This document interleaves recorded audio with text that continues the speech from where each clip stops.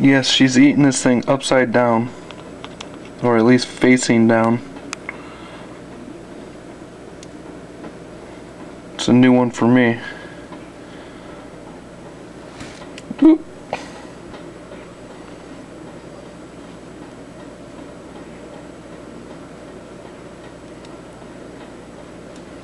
I know the Pinky Mouse is not too big for her. Perfectly fine, so no one email me and say that the damn pinky is too big. Because it's not.